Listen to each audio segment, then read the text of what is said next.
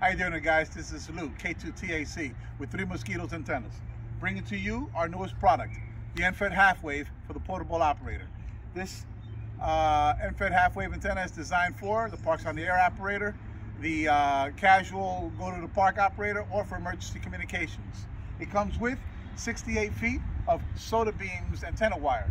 It also comes with two insulators for configuring to whatever you want, whether it's the uh, famous inverted V, which I like, or the inverted L, whatever configuration you want. You have your choices. It's wound down to a 3D printed winder where you can wind your wire onto. It also has a 49 to 1 unun wrapped with 18 gauge magnet wire. Also has a 100 picofarad capacitor. Um, with this configuration, we're using a 75 foot coax, and we all know that the coax shield acts as the counterpoise for the End Fed half wave. Kilo 2, Alpha Tango Victor. Echo India 2, India Papa, Echo India 2. Is that Whiskey 1 Tango Kilo? What are you running today?